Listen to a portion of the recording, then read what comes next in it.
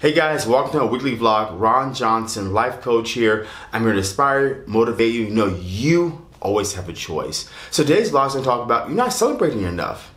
You may, may be thinking, what do I mean by that? Well, most of the time we only hear celebrate the big wins, getting a new job, quitting a job, any big milestones in our life.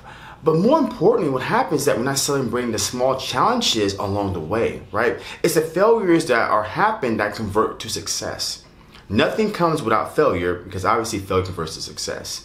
So the reason I'm shooting this vlog today is that tomorrow will be my three year anniversary. So those probably already know, I quit my full-time job three years ago. Probably one of the biggest things I've done in my young adult life. I'm still alive, I'm still young, but I'm not really here to celebrate the three year anniversary quitting my full-time nine to five.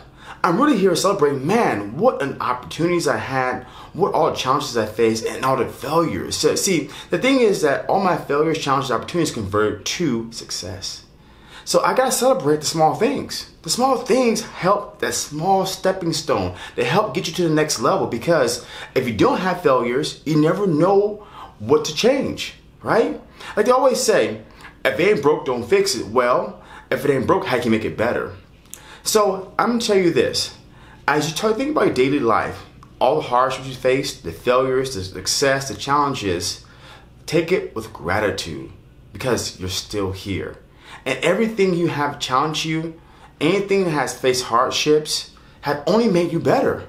See, it's experiences that we have that make me who we are.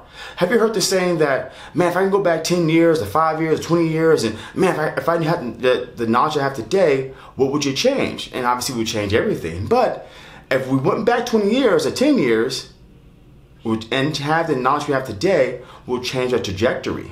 So be thankful for the experiences you have. Be thankful for the hardships. Be thankful for gratitude. Be thankful for being broke. Be thankful for anything that has made you much better. Because as you know, you always have a choice. So thank you for watching the weekly vlog. Ron Johnson, life coach, motivational speaker. I'm going to make you better as soon as possible.